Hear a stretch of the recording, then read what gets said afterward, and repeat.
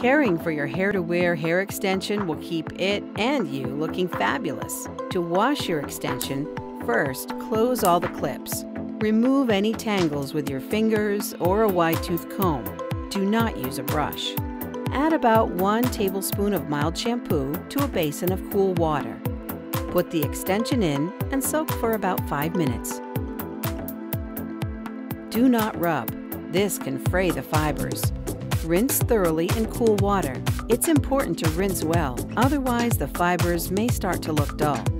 Dry by dabbing gently with a towel. Do not squeeze, twist, brush, or comb while it's wet. For extra conditioning, use a leave-in conditioner spray. You can use a blow dryer on the warm, not hot setting to dry your extensions. But for best results, we recommend air drying. A hanger meant for skirts or pants works very well.